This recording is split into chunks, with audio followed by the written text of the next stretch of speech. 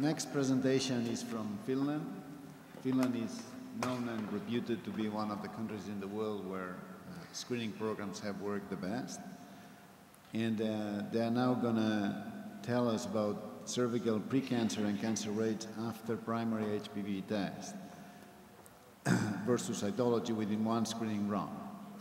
This is yet another randomized trial from Finland. So thank you for this great opportunity. Uh, there, there are my disclosures. So uh, I've I received research grant for my doctoral thesis, actually not for this special work. And here's my topic. Uh, this is data that was recently published in the British Medical Journal last week. It, uh, it's an open access article, so any of you who is interested is free to uh, obtain these results from the website. And cervical cancer is preventable through regular screening, but it still remains an important public health problem. Uh, in Finland, we have this organized uh, cervical cancer screening ongoing for over 40 years, and the situation in our country is, is good in compared to many other countries. Uh, but the problem, uh, the one problem is that this disease uh, affects rather young women that are still at fertile age, and, and it's known that uh, the treatments have uh, effects on, on uh, for example, the uh, preterm deliveries and, and birth weight. So this is an important issue. And it has been disclaimed that the current screening strategy, strategies have little or no impact on cancer uh, incidence at younger ages. And whenever uh, assessing or, or, considering new screening uh, methods, they should be assessed in the, uh, in the uh, population in, which they are to be implemented and, and also uh, all the positive outcomes, benefits and the possible harms must be evaluated properly. And this can be best assessed in the, in the context of uh, the uh, overall burden of disease in the population. So we've seen uh, earlier uh, that HPV DNA testing is more sensitive than cytology. It detects more pre-cancers uh, pre than cytology. Mr. Ronco just uh, showed that it is also more effective in preventing cervical cancer so there's no question about that. But, uh, but whether this earlier detection and, and better efficacy, uh, what is the price to pay? Uh, is there a substantial increase in the uh, uh, precancers detected, follow-up tests needed, colposcopies done, treatments needed? And, and we aim to assess these uh, the number of precancers in the Finnish healthcare system.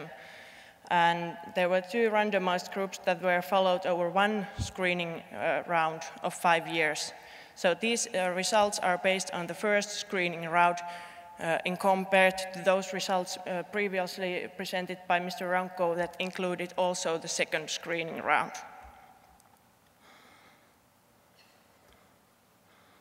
A few words about Finnish HPV uh, screening trial. Uh, in Finland, we have this organized cervical cancer screening program that, uh, in which every woman are personally invited by invitation letter to attend cervical screening in every five years. And uh, we have had HPV screening trial ongoing since 2003. So we started to HPV testing at the time when, when uh, all the other trials used uh, co-testing or the HPV as a tri triaging of ASCUS uh, results. And, and, in the cervical screening program, it is of utmost importance to maintain the high specificity because most of the people are healthy. We are, we are screening uh, normal, healthy people and only the minor part of them have some abnormalities. And we, we thought that it would be rational to start uh, HPV screening by, by offering the HPV uh, as a primary test and then cytology as a reflex test for HPV positives.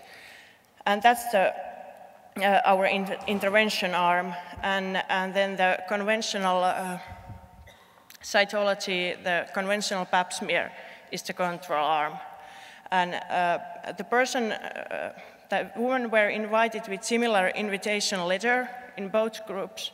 And, and the screening visit, the screening method was disclosed. So uh, they could decline from the HPV test and, and got the PAP test instead. But uh, any informed consent was not needed because this was a, a, a cervical screening service afforded uh, then. And, and the, deci the decision to accept the HPV test was considered as acceptance to participate the trial.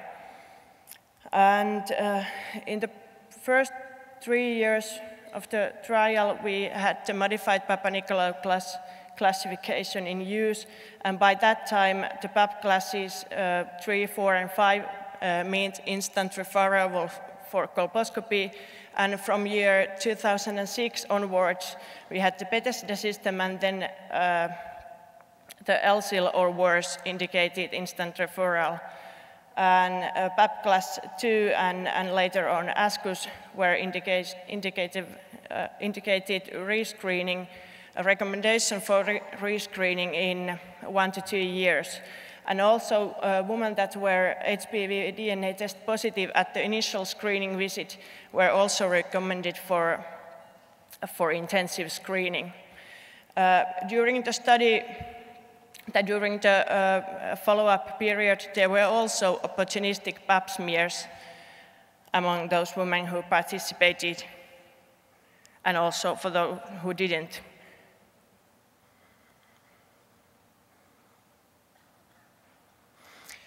So we followed up the woman from the, uh, uh, from the invitation, which was uh, by the, uh, uh, at, the end of, uh, at the beginning of the calendar year, and we followed up then up to cervical lesion, death or emigration, and five, five years since the initial invitation and randomization or December, the last of December 2008.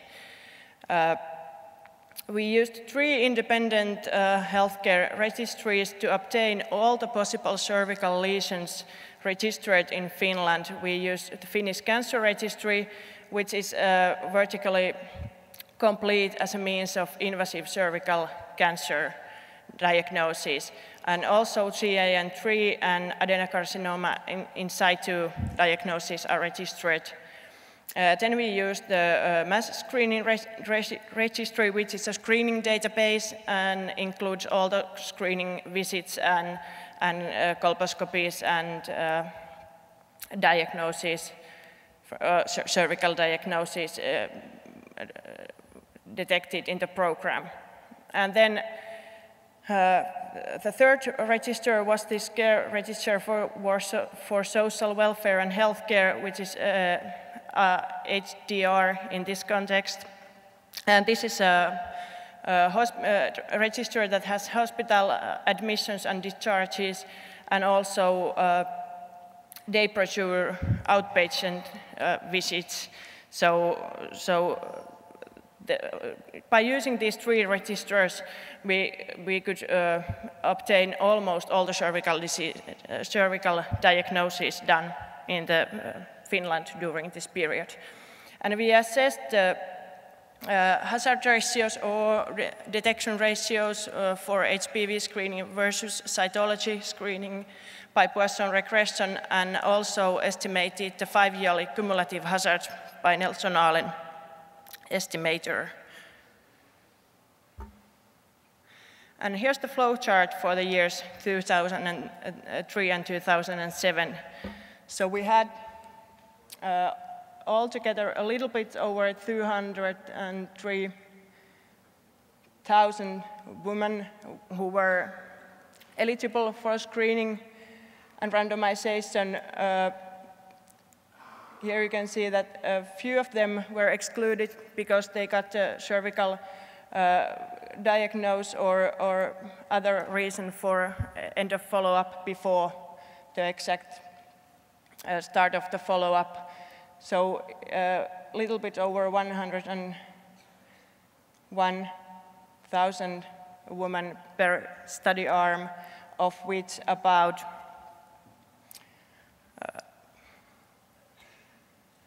65% attended in the HPV arm and in the control arm.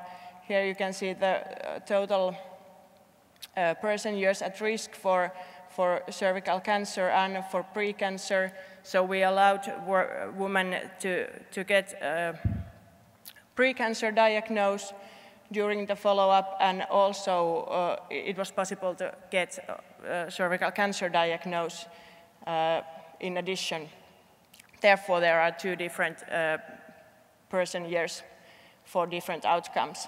And altogether, there were two, uh, 1,010 uh, cervical lesions in the HPV arm and 701 in the uh, test arm. And uh, the figure shows how they are divided by the status at the initial screening visit. So there were uh, almost equal number of lesions detected uh, instantly after the screening visit, and then uh, this follow-up is a bit bad word here, but it should be need for intensive screening. So these groups in the middle are those uh, who were recommended for intensive screening to somewhat abnormal result at the initial screening visit. And uh, this is uh, the group of women who got a negative result at the initial screening visit. And, uh, and the last column here is uh, the woman who didn't attend. Because this was a register, register-based study, we, we had opportunity, uh, we had chance to, to follow also the diagnosis for those women who did not participate, participate in the program. And here are the hazard ratios. So uh, considering all the uh, screening population, all women invited, uh, there were uh, 1.32 uh, hazard ratio for detection of CIN3 or ACE, which is considered be, be the, the most closest surrogate for, for invasive cancer as a means of detecting precancers. And of course, among those women who attended, the, the hazard ratios are slightly higher than, than in the population of all women invited. And uh,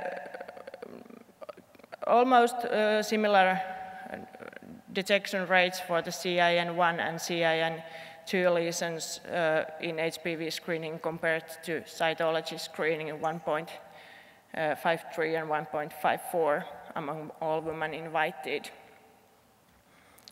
And then if you, if you look at those hazard ratios by the initial screening status, so here, uh, among those who were instantly referred for colposcopy, uh, 1.81 hazard ratio for detection of CIN3 or adenocarcinoma in situ. Uh, then women that were recommended for intensive screening, almost three for, for HPV screening versus cytology. And this, what we have heard already many times before, after negative test, uh, clearly less CIN3 cases detected uh, with HPV uh, DNA test than with cytology. Uh, we all, uh, in the uh, original paper, we also have uh, calculated these hazard ratios by age groups uh, from age 25 to 34 years old and, and for 35 years and older. And for example, this CIN3 lesions among colposcopy referrals, it was 1.50 for 25 to, to 34 year olds. Uh, this figure here was 4.61 for, uh, for, for that younger age group. And, and the protection of, uh, after negative test was actually even more lower. It was 0.22, so 0.22 after negative test in the HPV screening arm versus cytology. And here in the figure you can see the cumulative rates. So this first one is for the CIN3 or adenocarcinoma in situ. And, and uh, the colors are probably not that clear, but this first curve here is the HPV test among the younger age group, which means under the age of 35. Uh, green line is the same age group for, uh, for cytology.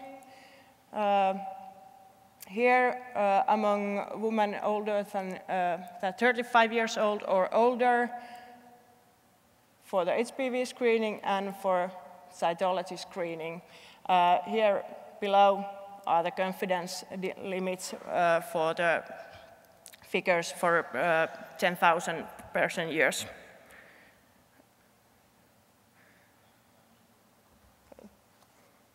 My conclusions quickly. So the figures are from the article and the conclusions. The primary HPV screening resulted in more precancers, a large number of lesions were detected in women under 35 years old, and this was substantially more common by HPV testing than by cytology. Uh, however, the absolute difference in cumulative rates uh, in three or ACE was was uh, small between study arms, and, and uh, this just, suggests that uh, by, by carefully selecting age groups and uh, screening intervals, the overall disease burden may be uh, increased only slightly. So,